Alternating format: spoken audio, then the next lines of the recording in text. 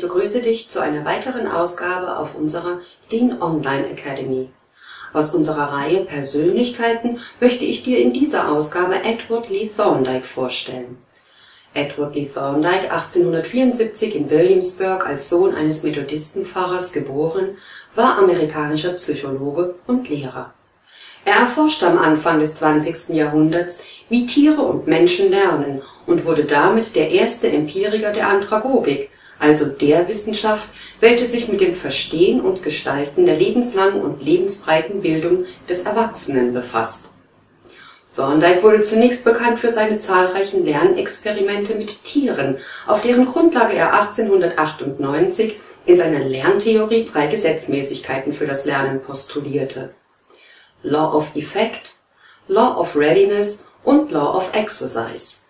Das Gesetz der Auswirkung Law of Effect besagt, dass Lernen als Resultat einer Verhaltenskonsequenz auftritt.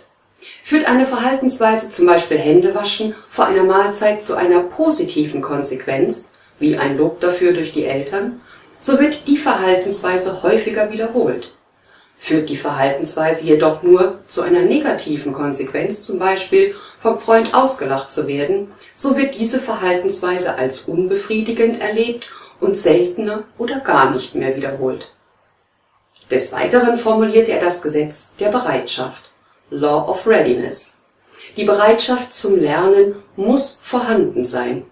Diese Bereitschaft ist ein Bedürfnis, welches befriedigt werden soll Lernen ist nach Thorndike nur möglich, wenn ein Individuum einen angenehmen Zustand herstellen oder einen unangenehmen Zustand vermeiden will. Und schließlich das Gesetz der Übung (Law of Exercise), welches besagt, dass eine Verhaltensweise wiederholt werden muss, um sie dauerhaft zu erlernen. Wie bereits vorher gesagt, war Thorndike darüber hinaus auch der erste, der die Erwachsenenbildung empirisch untersuchte und dabei ebenfalls als einer der ersten den Versuch unternahm, soziale Intelligenz zu definieren.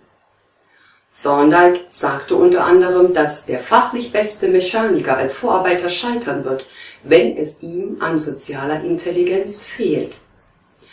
Unter sozialer Intelligenz verstand Thorndike die Fähigkeit des Menschen, sich in andere Personen hineinzudenken und sie zu verstehen ein sozial intelligenter Mensch ist demnach in der Lage, in interpersonalen Beziehungen klug zu handeln und die Folgen sowie Handlungen seiner eigenen Entscheidungen einzuschätzen. Nach Thorndike ist zudem die Fähigkeit, mit Hilfe sozialer Intelligenz die Handlungen, Entscheidungen und Wünsche der anderen zu verstehen, eine Grundvoraussetzung für eine effektive Kommunikation zwischen Mitmenschen Gemeinsam mit John B. Watson wurde Edward Thorndike zu einem der Begründer des Behaviorismus. In seinen theoretischen Überlegungen zur instrumentellen Konditionierung wurzelte die Lerntheorie von Skinner, und seine ursprünglich für Katzen entwickelte Problemkäfige waren ein Vorläufer der Skinner-Box.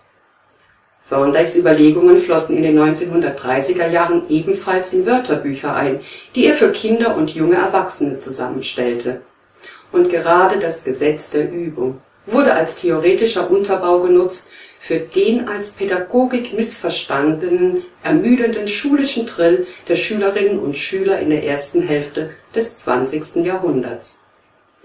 So viel jedoch zu Edward D. Thorndike an dieser Stelle. Ich wünsche dir eine klasse Zeit und freue mich wie immer über dein Feedback oder deine Fragen. In diesem Sinne, bis zur nächsten Ausgabe.